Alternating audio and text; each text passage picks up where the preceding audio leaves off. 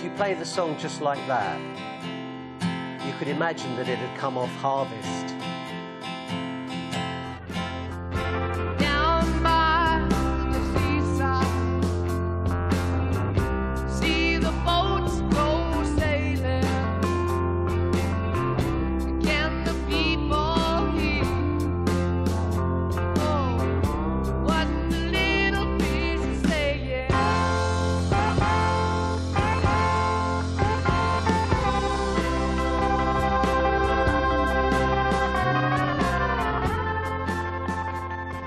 Down by the Seaside is a, a, another old song that um, certainly deserved to be rescued. Plant had written the lyrics uh, around the time of the release of Neil Young's After the Gold Rush, which was an album he was very, very fond of. And it, it fits in with his uh, all round fascination with um, California and, and, and the West Coast sound. It's interesting that um, as they were recording the album, mixing the album, certainly Crosby, Stills and Nash and Young played a massive gig at Wembley Stadium in the September of '74, and all four members of Zeppelin went to that show. There was a jam afterwards actually with Plant, um, sorry, Page and Neil Young and Steve Stills, and I think there may have been an element then that they wanted to include that track, you know, as a tribute to the, you know, the sort of association within they had with, um, you know, those artists. So it was a nice one to do, and it, it just, you know, was a good throwback um, you know, to the after the gold rush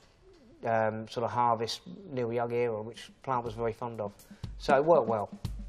The ever expanding influences that had led the band to this point would carry through to their fifth album, Houses of the Holy. The recording sessions for Jamaica, a reggae tinged track often seen as one of Led Zeppelin's biggest creative misfires, would also usher in future physical graffiti tracks.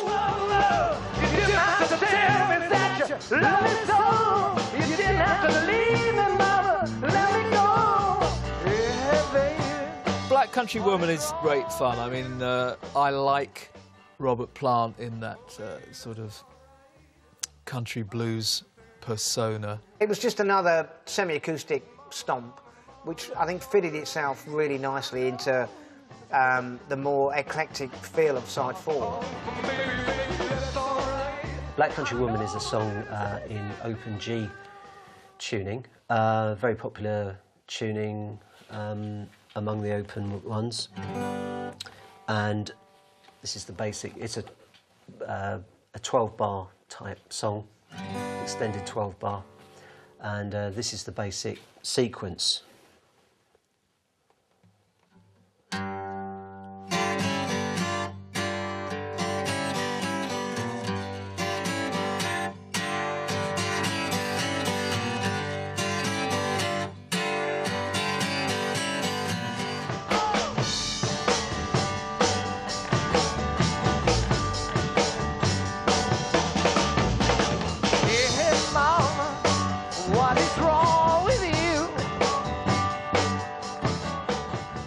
Making of Black Country Woman would see Robert Plant attempting to record his vocals outside in the open air, at which point he found himself battling against the elements.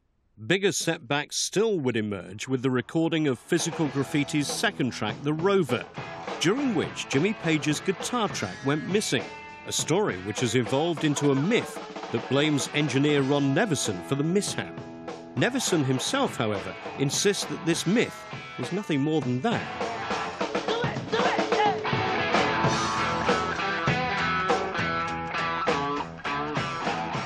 There is one credit on the album that says Guitar Lost by Nevison, uh, Saved by the Grace of Harwood. Now, Harwood is Keith Harwood, who has passed away, since passed away. And he's the one that took my tapes from working at Ronnie Lane's mobile studio and went to Olympic Studios where they did the overdubs and ultimately mixed. I'm not sure if they mixed at Olympic. No, they probably did. Now, I didn't work on the rover, which with this credit is attributed to. So I don't know where that came from, because uh, uh, it sounds to me like uh, there was maybe some dis- distortion on the or partially erased or something happened on that guitar track, uh, or something like that.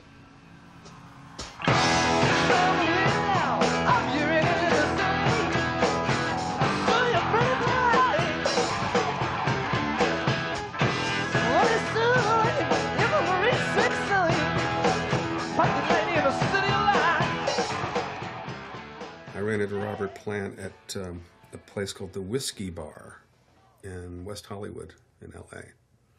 And um, we were reminiscing, and uh, I asked him about this. I'd never uh, had a chance to ask any of the members about why they chose to uh, put this thing, Nevison lost this guitar and Saved by Harwood on there. And he really didn't remember or know anything about it. So I have to take him for, for the, for, you know, take that for face value, I guess. Black Country Woman and the Rover would be accompanied by the final pre graffiti edition, one which, in terms of its title, is perhaps the most intriguing track to be held over. Houses of the Holy was originally slated to appear on the album of the same name. Like their fifth album's final track, The Ocean, it would serve as a tribute to the fans who assembled in huge concert arenas and made Zeppelin the superstars they had become. Ironically, given the subject matter, it was another song that would never be performed in a live capacity.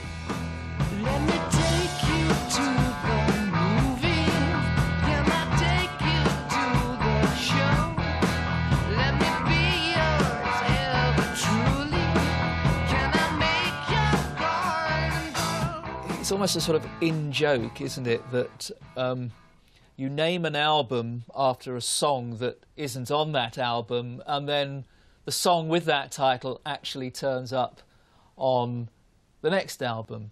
Um, and there were, there were there were two or three examples of, of different artists doing doing that at the time. It seemed to be a sort of uh, little muso in joke. Houses of Holy is um, it's not the greatest song on the album. It, it's a good song. It's a very melodic song. It's a, a mid-pace song. It's almost a pop song.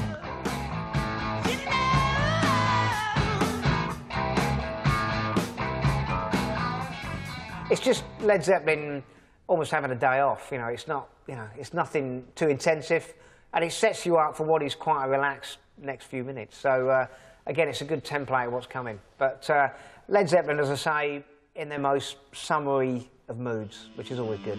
With all these previously neglected tracks assembled, many lesser bands would have considered this enough as an album in itself. Zeppelin, however, had other ideas. The eight other tracks on Physical Graffiti would be recorded during January and February of 1974. To do this, the band would return to a location they found highly atmospheric and conducive to their work. Headley Grange was a converted Victorian workhouse situated in a village in East Hampshire. I know that they used they used uh, Island Studios to record some of Physical Graffiti. They used Stargroves. They used Headley Grange in 71 or something like that, or 72, before the 1974 sessions that I did the final tracks of, of Physical Graffiti on. Headley Grange, according to Zeppelin, where they recorded the eight tracks, which were the new songs for Physical Graffiti, had its own atmosphere. It, it wasn't a, a studio in the way that we know a studio, it was a mansion, really. And Zeppelin seemed to like recording away from studios. Yes, they recorded at, at Olympic Studios, but and realistically, why those eight tracks work is because it was an atmosphere that went on. They were, it was a self-contained place. It wasn't a studio as such, so they had to improvise and augment and come up with ideas of the ways to record. And that actually helped them an awful lot because it meant that they could almost do anything they wanted. They weren't restricted to a control room or to a live room. They could go into a barn and record if they wanted to. Uh, and that is part of the beauty of physical graffiti. They wanted to record at Headley Grange for the drum sound. They loved the drum sound. If you walk into Headley Grange, you walk into this um, old farmhouse, a nice farmhouse though, uh, that it had had a marble floor and it had uh, a stairwell stairwell that went around three, I think three levels or something like that. Uh, like big, I don't think it was rectangle. It wasn't square, but it, it was a rectangle. But uh, it was probably about thirty by forty, something like that. And the drum kit was put right in the middle of the floor in that room. And, uh, and that's why they picked Headley Grange. Now, obviously, if you're using a house to record, you have to bring the recording equipment with you. And in some cases, I mean, you could have just brought a mixer and you could have brought the whole thing. It was easier to bring a, a truck where the acoustics were good inside the truck for, for to make uh, sonic choices and and everything else. So it was kind of coincidence that I built Ronnie Lane's Mobile and that they needed to do that pretty much the same year that I built it. We would generally start around probably noon and work till midnight. And uh, lots of time in between, you know, playing cards and messing around. And uh, I first started staying there when I first um, started uh, the the project, and I lived about forty five minutes or an hour away. But sometimes they'd do a little partying, and they'd wake me up at three or four o'clock in the morning and want me to unlock the the truck and start recording, which messed up the whole next day. So I decided that I would not stay there. And when the session was over, I locked up the truck and drove home. So they couldn't do anything. And it went a lot went a lot smoother after that. With Zeppelin having recorded at Headley Grange before, it formed a unique part of their lineage that began to reflect within their music. There were certain aesthetic mainstays that were always present throughout their work. Led Zeppelin had always been fascinated by the overriding influence of blues music. You put me down, going up the hill, leaving in your heart someday that I'd stand still. People, you know life is just one bitter pill. Oh, yes, it is. Don't pity me.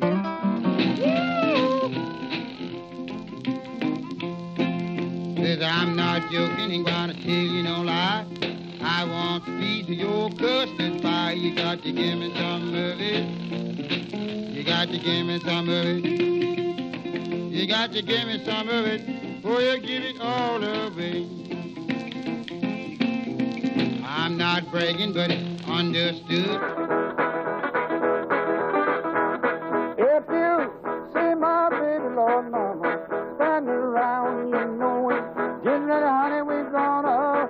'em down, Lord.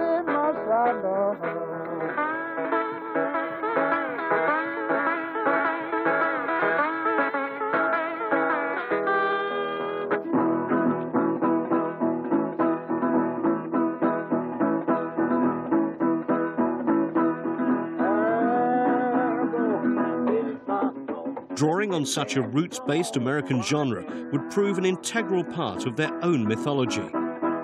Physical graffiti took this blues fascination to a new level, taking on inspiration from artists such as Fred McDowell, Blind Boy Fuller, Bukka White, and Brownie McGhee. The opening track of the album, Custard Pie, would proudly wear this heritage on its sleeve.